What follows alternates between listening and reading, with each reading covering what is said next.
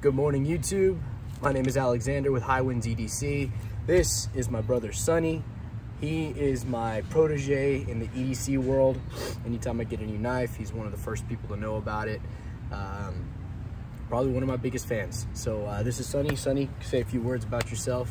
Uh, like he already said, I'm his brother. I'm Sonny. It's my first knife review with him. It's gonna be pretty fun. Yeah. I'm excited. I'm ready, and Guess let's get into it. Yeah, let's get into it. Today, we're gonna be doing a review of the Benchmade Vector. Okay, this is a knife I've had for a little while now, but before we get into that, how about a little bit of a pocket gun? So for me, um, I had to go to work early this morning to clean up after the Texas Tech homecoming game. Um, we have the game on Saturdays, so Sundays we come in early to uh, pick up sandbags. Other guys will come up, pick up trash and all this other stuff. But um, I'm gonna show you what I carried this morning for work and what I would carry on a Sunday. Um, so first things first, we wake up at 5 a.m. so we can get there by 6. So what I need first thing in the morning is a flashlight to check. Make sure tires aren't are, are, are, are not flat. Make sure that we can get into our lockups and everything, and this comes in handy. This is the Olight Warrior Mini 2. All right, Sonny, you can go ahead and handle that. See how you feel.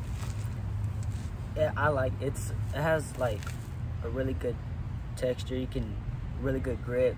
Won't slip out your hand. It has a really big clip. It's Mhm. it's nice. It go into your pocket easily. Go Yeah. way deep in there. Easy to pull out.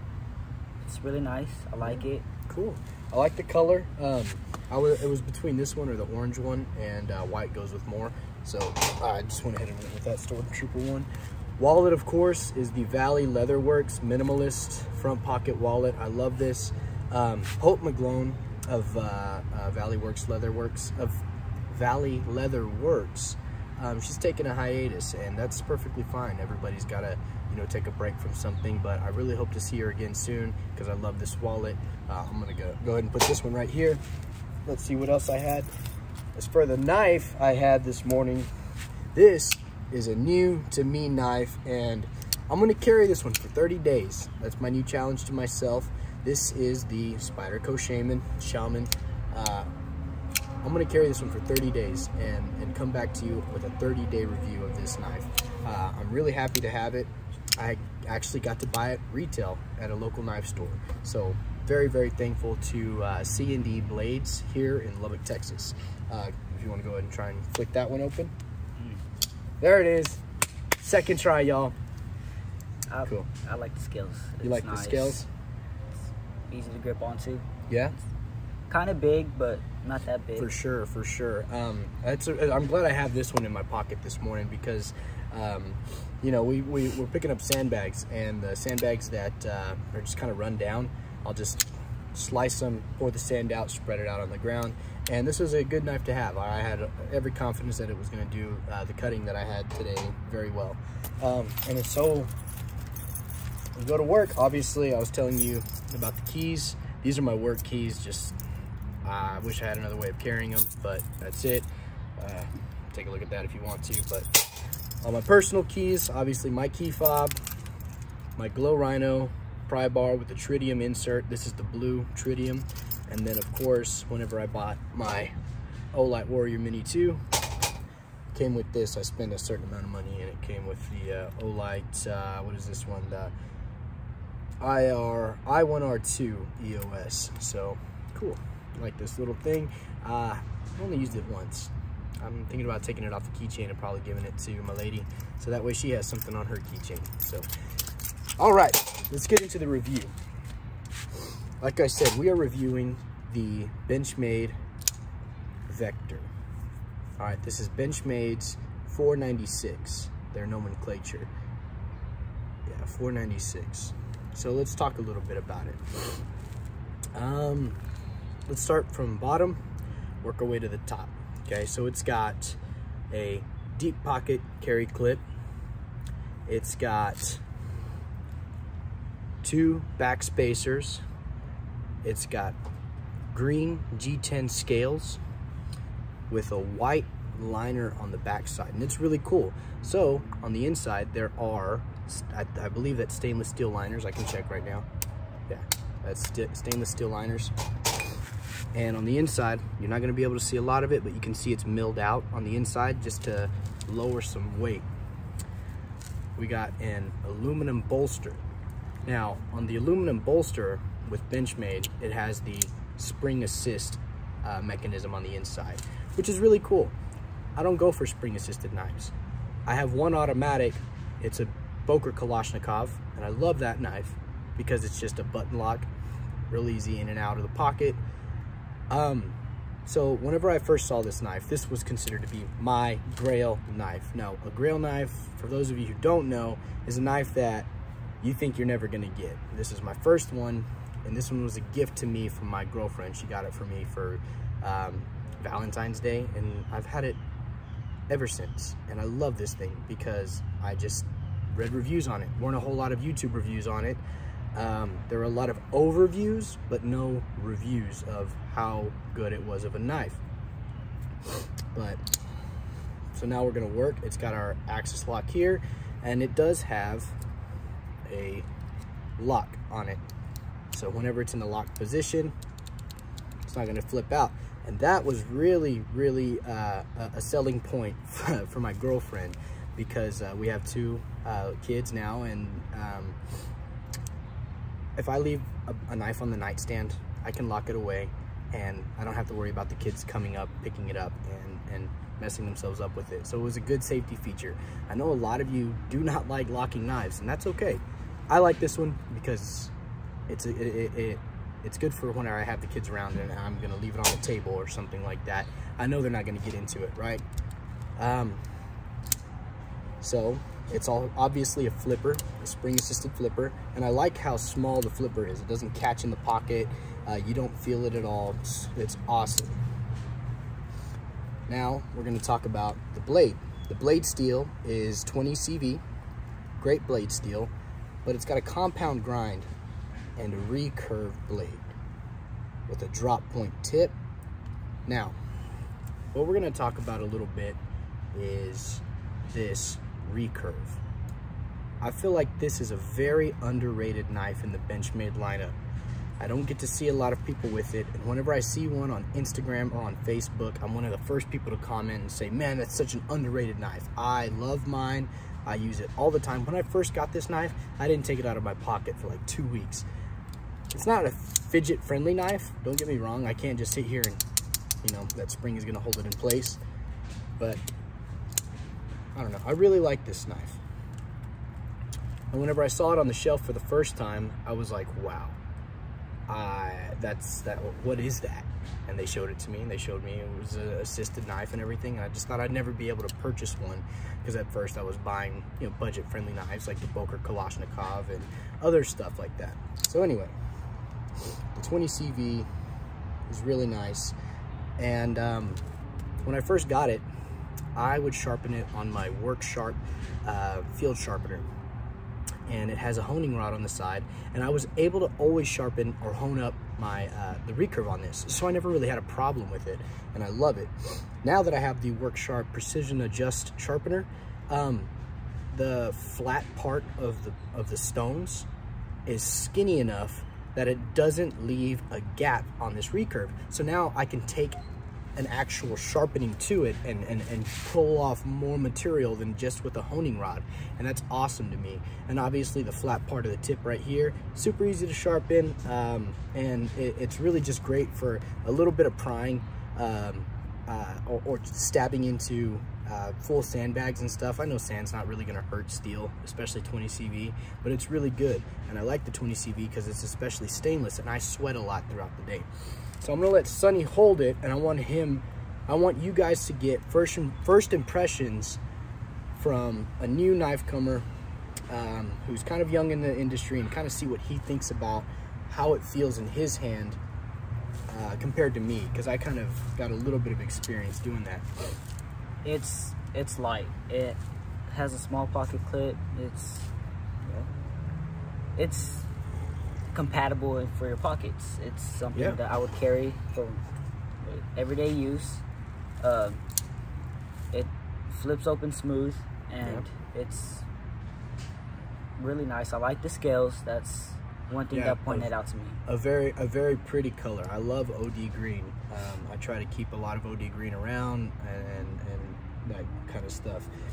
Um, one thing I do want to talk about is it has a natural leniency. You can kind of see it. It, it, it. angles and tapers down like into your pocket. So whenever you go into your pocket and you set it right here, this is kind of how it sits in the pocket. Way off and to the right if you're carrying it in your right side pocket. Same thing with your left, obviously. It, it just, can't think of the right word, but it tapers into your pocket in a very neat way. And that's, if you can take a look at the shape of this knife, it's in a bow shape. And I love that. I don't know why, it's just a nice curve. And one of the, one thing that factors into it is that it sits right in your pocket. Um, in a, in a very, I guess in a, in a tucked away manner. So another thing that I wanted to talk about was when I first got this knife, the lock stick was awful. You can still kind of hear it. That that first little click, now it's just sliding back and forth, but whenever it clicks, that little click is lock stick. Cool. But uh, I put a little bit of graphite in this little area and that seems to lubricate it just nice. Um, I, I would take a pencil and I'd scratch in there and then it would just get rid of some of that Loctite for me. That, not Loctite, that lock stick for me. So anyway, like a very underrated knife in the knife community. The knife centering is uh, favoring the show side a little bit, which is okay with me. I don't care. This is my user knife. I use it, I use it a lot. I wear it a lot. You can see the wear on the pocket clip. I love this thing. I'm very happy that I have it. Um, let's talk about functionality. Okay, you can go ahead and play with it, Sonny.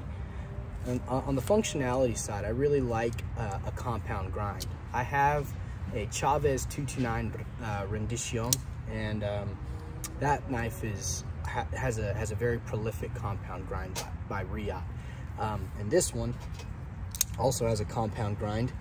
It's got a flat tip, a flat grind tip, and it's got a recurve right here and it has, has this swedge on the top and that swedge is to I don't honestly know what it does but on the on the back side it gets real skinny right here. It's almost like a second blade. You can kind of see right there. Turn it around a little bit. But then the tip becomes very robust. So that way if you have to do a little bit of prying into some wood or whatever you're cutting into you've you've got a little bit of confidence with the tip and it's not going to snap or anything like that. The flat grind, like I said, the flat grind is great for stabbing into things and not having to worry about, oh man, is it going to break on the on the way in or on the way out or anything like that. But then we get to this hollow grind recurve right here and it is amazing for slicing. Whenever I get into something and I get, uh, what is it, a quarter of the way through past the tip, it just goes like butter. It's so smooth and I love using this thing. The ergos, like I said, so I have a very, I have relatively small hands, but I'm able to really choke up on it. And I can give you a little bit of a size comparison to the Shaman. They're roughly the same. Uh, it's, it's a little longer. I'm putting it tip to tip right now. And I'll put it butt to butt for the most part. And now I'll do it from, I guess, lock up to lock up, mid to mid. So you can kind of see it's it's it's a very large knife. The Spyderco Shaman uh, is uh, comparable to the um, Spyderco PM2, which I've had before, um, but it's definitely a little bit more robust uh, in the in the inside. I like how my finger comes right here, and then I've got plenty of room on the on the end for just a good good purchase.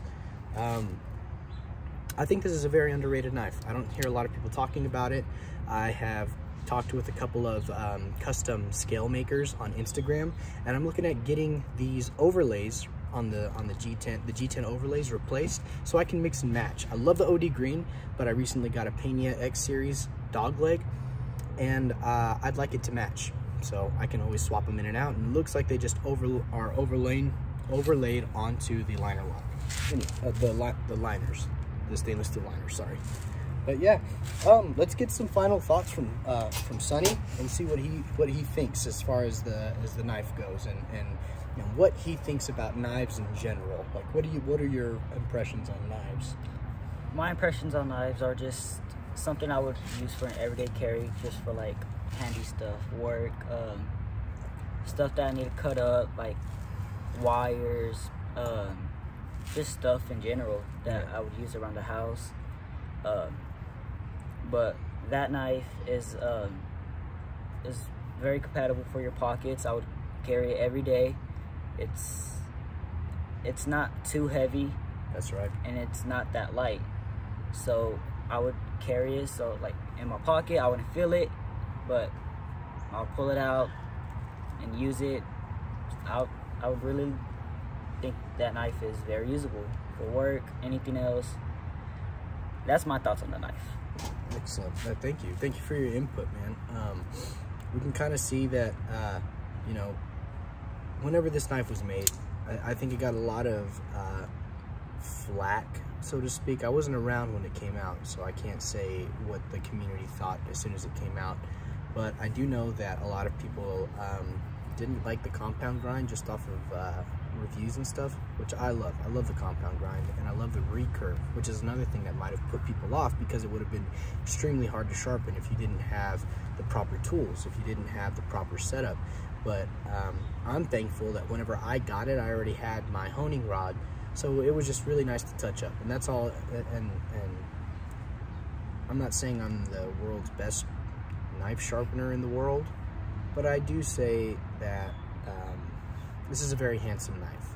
And whenever I pull it out, I know it's gonna get worked. It's gonna, it's gonna have my back, so to speak. Um, in a self-defense situation, which I hope I never have to get uh, into. Um, but this is, this is a, a beautiful knife. I think it's very well made. Um, and it has that butterfly tax for sure. It's a very expensive knife. I'm not gonna sit here and, and beat around the bush on that. Um, but with that butterfly tax, you get the warranty. And I think that's a really good deal. So if this thing ever fails on me or anything, I can always send it back. I don't abuse my knives. I use them as cutting tools. I try not to do any sort of prying or anything like that that I'm not supposed to be doing. I have other tools for that. But uh, my final thoughts on this is, my final thoughts on this are, this is a very underrated knife. And I'm gonna say it again. This is a very underrated knife. Um, I guess for the price range, there are a lot of other knives um, that would be considered better, that would be considered more functional, more utilitarian. And, and by all means, that's great, that's fine. Um, but for this one, it's probably my favorite. I'm never gonna sell it. It was obviously a gift from my girlfriend, so I'm never gonna sell it. I'm never gonna get rid of it. And this is gonna be a lifer. I think, uh, I think, yeah. So anyways, to wrap up, I, uh, I really just wanted to do this video so I can start incorporating my brother in some of these videos. It may not be every single video, but uh, for sure just wanted to, uh, uh, to get a young man's uh, thoughts and first impressions on some of these knives. Um, every time I get a new one, I let him handle it and kind of see what he thinks about it, uh, how, how the lockup works. And he's pretty familiar now. He follows some of the same uh, stuff that I follow, but he definitely follows me and I'm always tagging people and stuff. So um, just really wanted to uh, get him and get some of his uh, first impressions on a lot of this stuff. But anyways, uh, I really uh, want to say thank you guys um, for watching this video and uh, please uh, uh, like and share or whatever you guys do and um, just know that my reviews they just come from what I use what I use in my own humble opinion I'm an equipment operator so I, I don't get to use my knife every minute of the day but when I have one but when I need it I'm glad I have one and I'm glad I have something that I can trust so anyways, guys, uh, I know that that was a bit of a long review, but uh, again, thanks to Sonny for being here, and I hope you guys have a blessed week. Goodbye.